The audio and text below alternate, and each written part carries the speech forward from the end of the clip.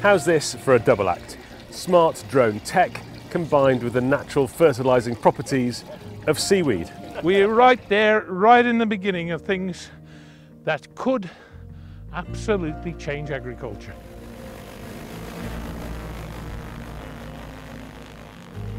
The potential growth for drone use in British agriculture is huge.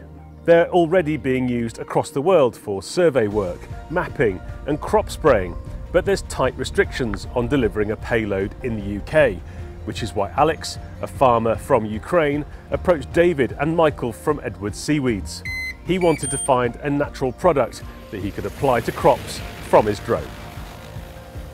They cannot uh, apply chemical fertilizers and they were looking for something that they could actually put on the land to make full use of the drones or a wider use of drones.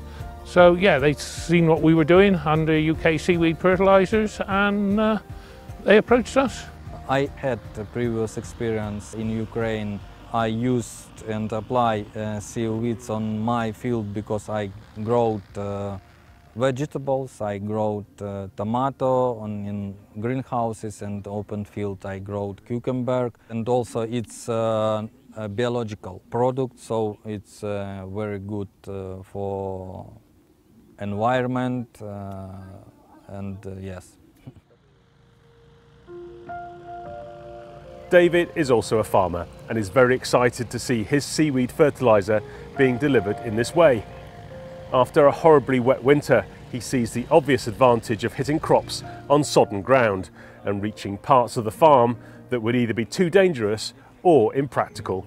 Just think with this, the danger for farmers driving up and down the Welsh mountains, putting on, trying to put on fertiliser and tractors running away and rolling over and you could basically stand in the farmyard and send this off up the hill, put the put the fertilizer on for them and come back and land in the yard and you can go and do another field in the other direction. What mix have you got going in then, David? We're going to do a 50-50 mix of um, seaweed and, and water. It's very concentrated, but it's going through a different pumping system with the drone and they're just spraying it onto the leaf and I think with the misting system that they've got, it should work extremely well. What's it smell like? The sea? Like a seaweed. let's have a smell, let's have a smell. Let's smell. Mike's just going to open the packet of the Bio-N now, which is the nitrogen fixing and phosphate cycling bacteria. This will give a continual supply of nitrogen to the plants as the plants require it for up to at least nine months.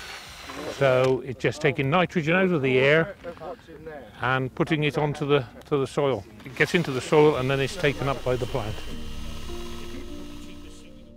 This relationship is as much a human story as a business one. Alex was a farmer and experienced drone pilot, but his life changed forever when the Russians targeted the defences the Ukrainian military had installed on his farm, which sits along one of the main archery routes into Kiev. Everything was destroyed, including his three hectares of glass houses.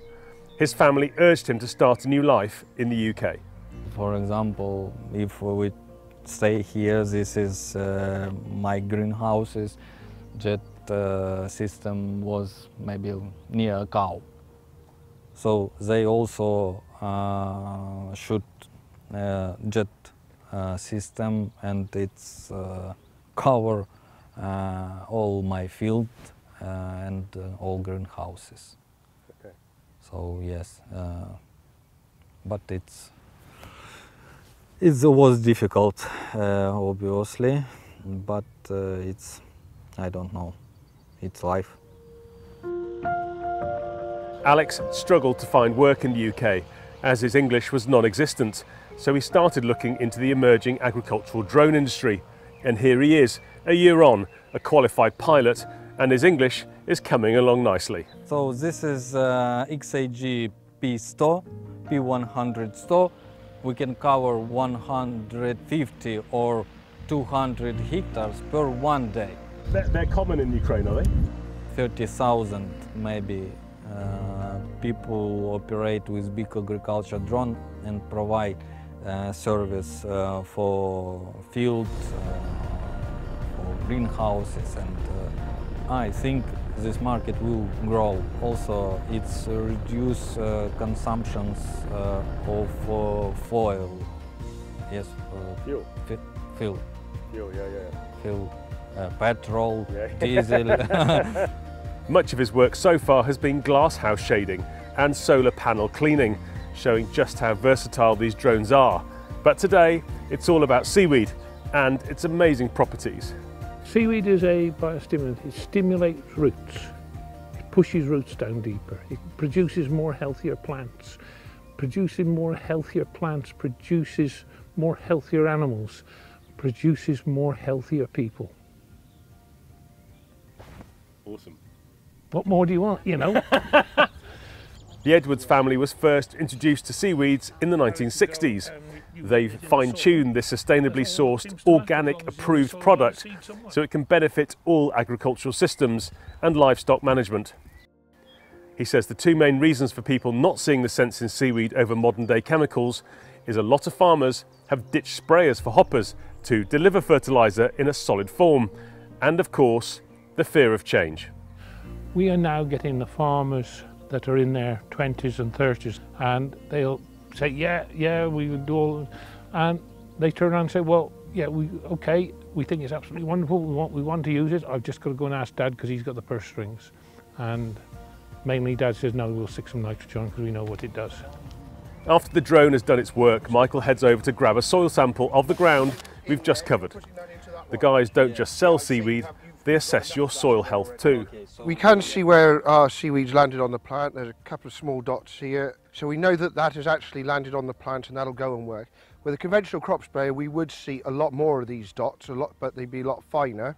There will be a little bit of let's wait and see and see what happens.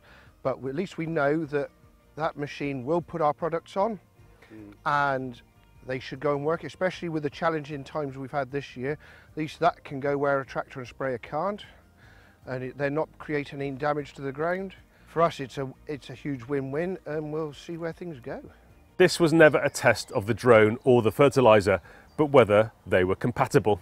we set it up to do the uh, right amount to, to cover the patch at uh, five litres per hectare and it's done it and the tank's empty and it's come back and landed wonderful And after a successful first flight, it looks like the future of farming could be sourced from the sea and delivered by air.